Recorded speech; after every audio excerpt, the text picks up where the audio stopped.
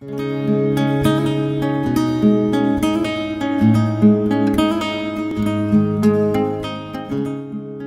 the Dead Sea Scrolls, an admonition associated with the flood. 4Q 370, 4Q 185, with parcel text reconstruction. He satisfied every soul with good fruit. And he crowned the mountains with produce, and poured food on them. Whoever does my will, let him eat and be satisfied, says the Lord. And let them bless my holy name. But, behold, they have done what is wicked in my eyes, saith the Lord.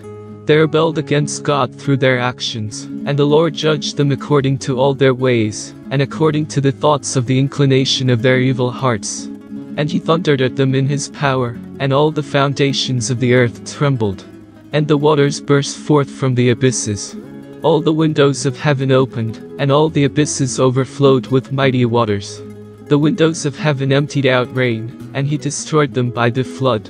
Therefore, everything perished on the dry land, and men, beasts, birds, and winged creatures died.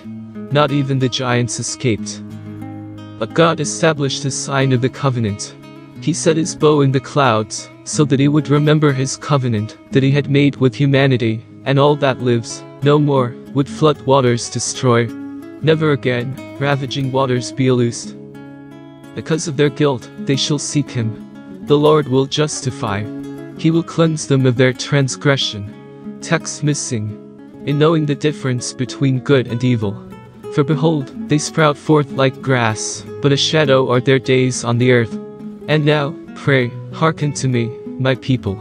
Heed me, O you simple for from everlasting to everlasting. He will have mercy to those faithful to his covenant. His tender mercies are upon all who remember his commandments. Grow wise, with the might of the Lord. Remember the miracles which he did in Egypt, and his marvels in the land of Ham. Let your heart shake, because of fear of him, and your soul will rejoice according to his good graces.